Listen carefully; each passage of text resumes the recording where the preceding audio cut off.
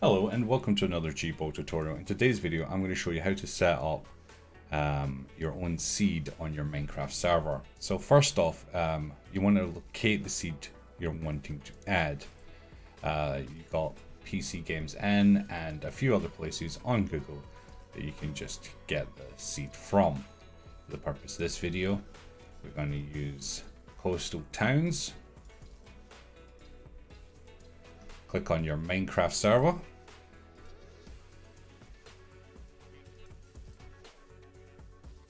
Go to basic settings. Turn your server offline. Wait for this bar to finish loading. Scroll down where it says World Seed. Control V. Click Save and then boot back up your server.